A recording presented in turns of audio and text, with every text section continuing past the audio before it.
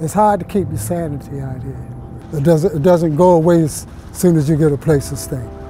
Stay awake up in the middle of the night, looking to see. but then the dawn, I'm say, man, I'm indoors, I'm in the house. You know, and it's a long-lasting effect. You know, but you got you got to help yourself. Reintroduce yourself back into society.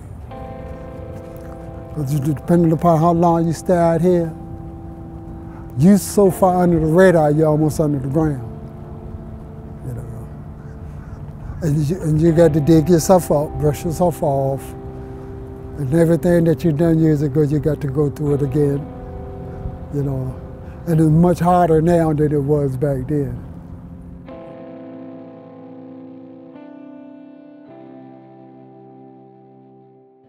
Street Health uh, started with one person, that was me, um, and it branched out to 10, and now I think it's up to more than 30 in the community engaged learning with around like 100 volunteers. The students from Eastern Virginia Medical School here doing vitals, and everything. Such a wonderful thing they're doing. NEST is the Norfolk Emergency Shelter Team. It is a group of religious buildings, uh, temples, churches, synagogues that provide uh, shelter and food and other services to the homeless from the months of November to March. So what EVMS Street Health has done is we've partnered with the various NEST locations and we started to create pop-up clinics at their sites. And so we partnered up with Freemason Baptist Church. We go there every fourth Saturday and help with providing them medical care. We also have eye screening going on. It's not for vision, but it is in case you feel like you're having any blurry vision, anything that you want checked, we will check it all for free. I volunteered with the homeless um, through Doctors Without Walls in Santa Barbara, California. And I learned a lot about homeless people and realized that they're a population that's pretty much ignored, so I wanted to bring my experience at home to EVMS. They like what they do. You can see it that they love what they're doing. And for me to be able to come in here and, and have this experience with them, you know, it's, it's, it's a blessing for me as well. It's just a tiny poke. Ready? Here we go. Good.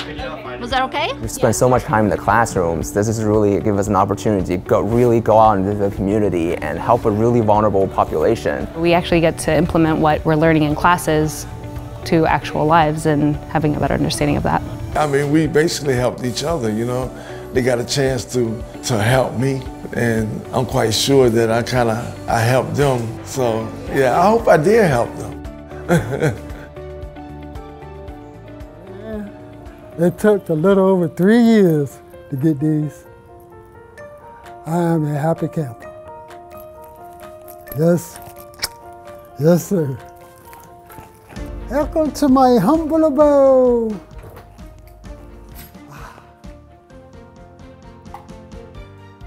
This was the happiest days of my life. When I first got my keys, you know, it was like, a load was taken off my shoulders. It, it, it, it, was like a whole fresh start, a whole nother beginning, you know. And it was so wonderful.